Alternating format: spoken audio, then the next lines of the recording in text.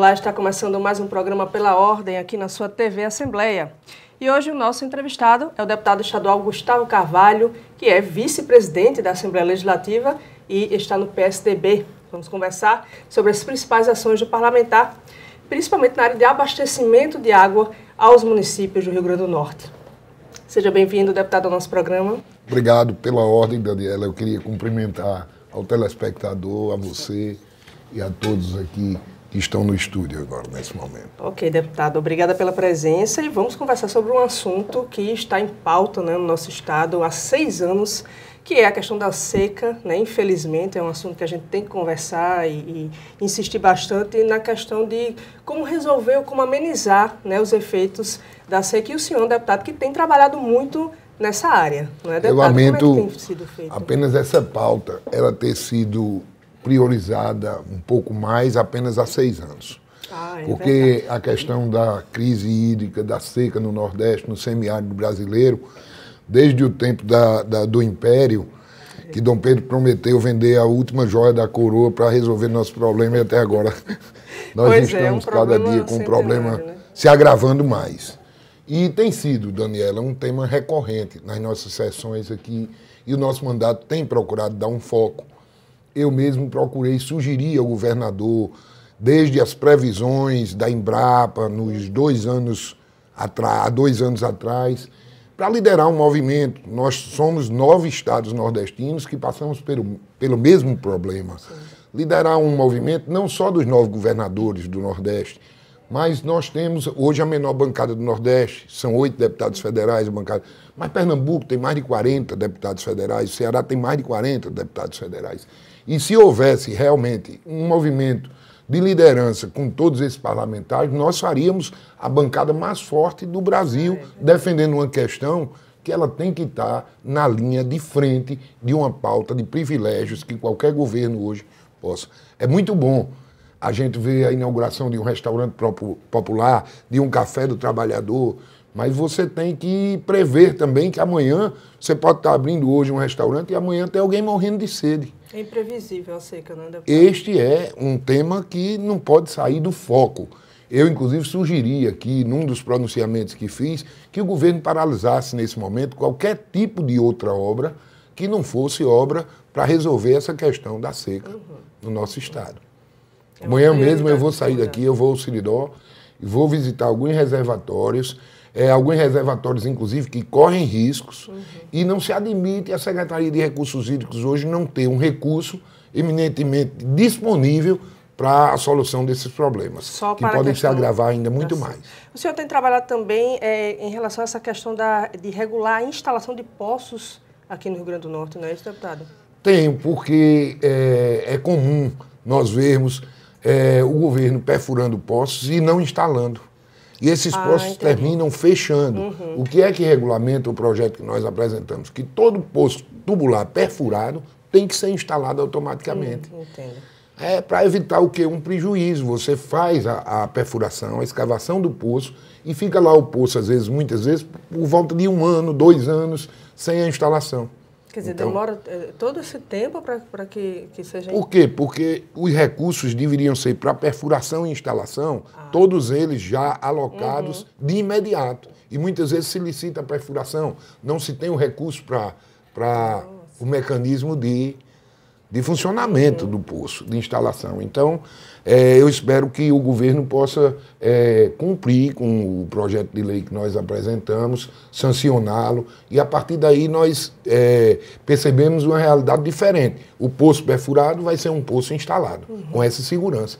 Como é, tá como é exatamente esse projeto de lei? recebendo o benefício. O projeto de lei é justamente visando isso, que é... Que Obriga tem- a cada perfuração a instalação imediata Ah, do poço. tá. Certo. O poço, é, os poços é, nessa, nesse período de seca são extremamente importantes, é isso, deputado? Para os municípios, assim, essas pequenas cidades. Hoje nós só resolvemos essa questão, infelizmente, porque deveria já ser um problema de resolução total e permanente, É. constante, com poços e carros-pipas. O município, como Caicó, ele está em calamidade parcial. Então a Defesa Civil não entra. Os recursos têm que ser do município de Caicó e do governo do estado. Nós tivemos duas ou três reuniões no gabinete civil do governador, muito bem coordenadas pela chefe da Casa Civil, doutora Tatiana Cunha, com os diversos prefeitos da região, mostrando a, a realidade atual do Siridó.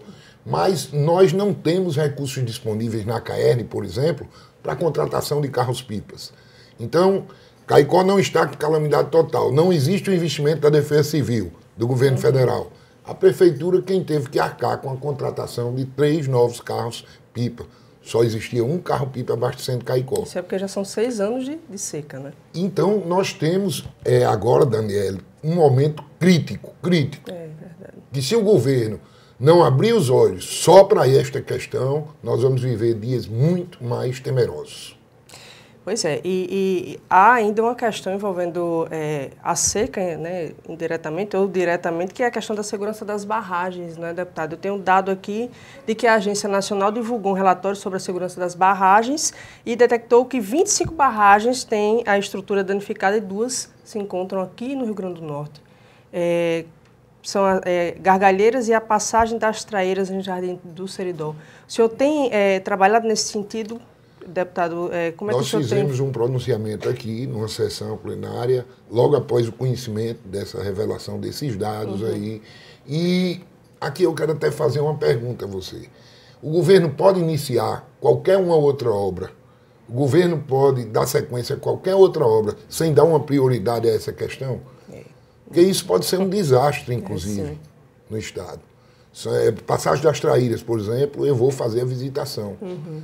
Vou amanhã, ao Seridó e vou fazer a visitação. Uhum. Vou fazer a visitação de, outros, de outras barragens também que estão dentro deste relatório da, da ANA.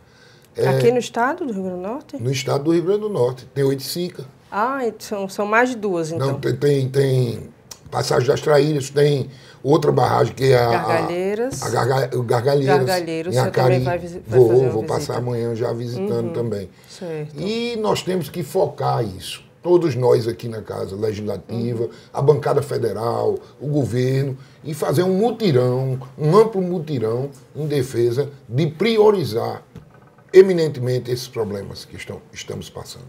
Ok, deputado. A gente conversou sobre essa questão é, da seca né, e as consequências, o trabalho do deputado em relação a isso, e a gente agora vai mudar de assunto, deputado. Né? Vamos falar sobre uma lei que assegura mais transparência aos eventos culturais, uma lei de sua autoria, deputado, é isso? É, uma das atribuições nossas aqui é a fiscalização.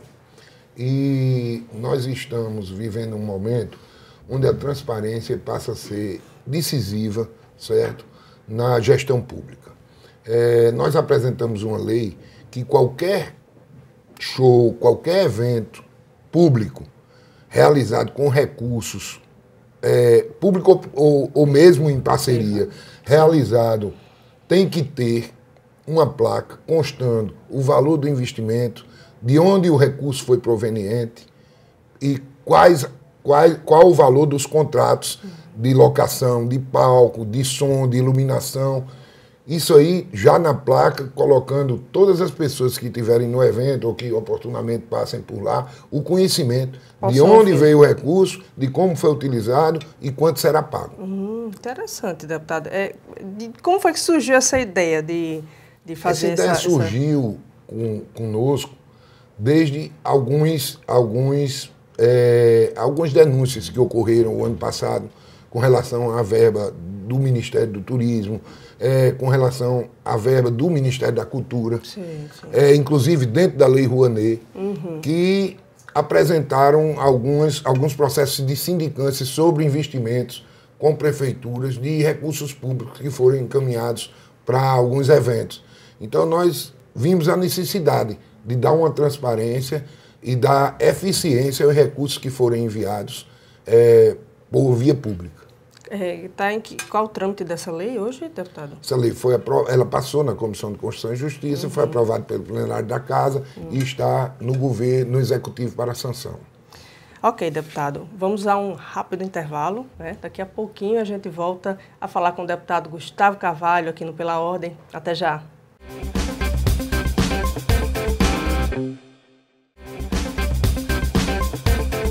Estamos de volta com o programa Pela Ordem, entrevistando hoje o deputado Gustavo Carvalho, Deputado Gustavo Carvalho, eu sei que o senhor tem uma lei importantíssima não é, na, sobre a regulamentação da carcinicultura, que é a Lei Cortez Pereira. Como é que funciona essa lei, deputado? Essa foi uma das grandes vitórias do nosso mandato aqui na casa.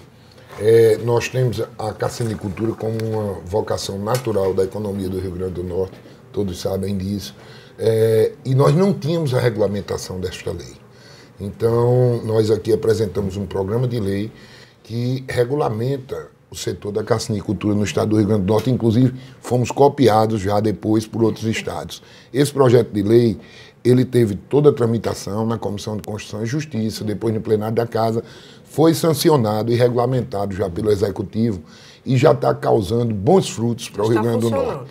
Nós tivemos 20 mil empregos dados pela carcinicultura após a aprovação desse projeto de lei. 20 é, mil empregos. É um projeto que, inclusive, está revitalizando o setor que do, de 2011 para cá ele vinha perdendo para o Ceará, vinha perdendo espaços grandes. Uhum.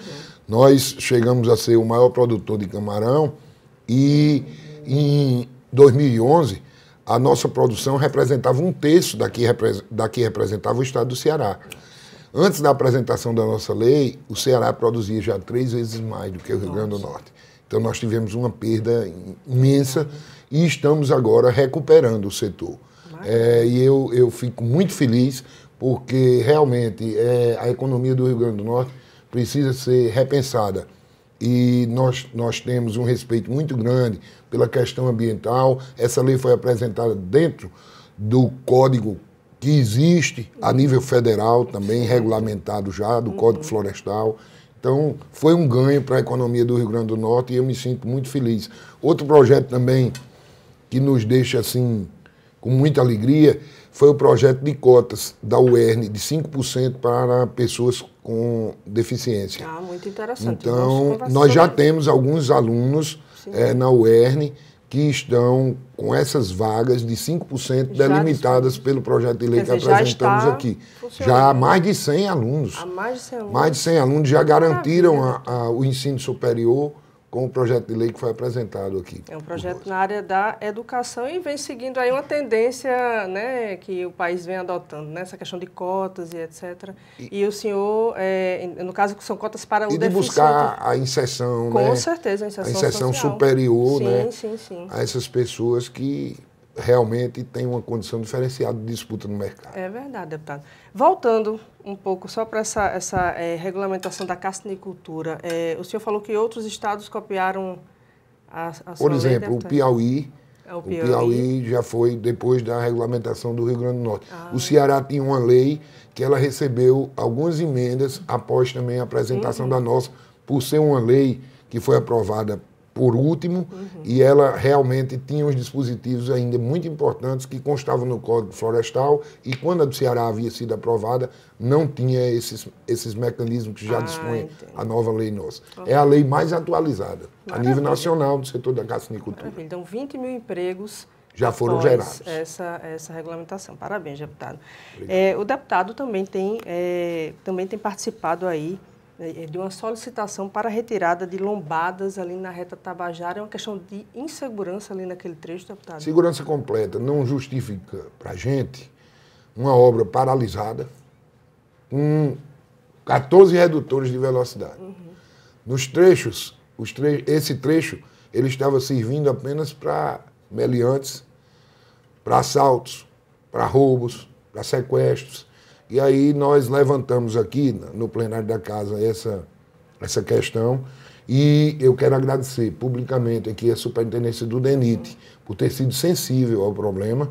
É, alguns redutores ainda ficaram e, e eles conseguiram nos convencer da importância da permanência, Certo. porque são trechos que ainda correm um, um certo perigo por serem trechos largos e poderia também, com uma velocidade maior, haver um acidente de deslocamento de veículo, mas aonde eles sentiram que realmente o nosso apelo se fazia importante, eles retiraram e hoje parece-me que só quatro redutores estão lá nos trechos mais perigosos realmente.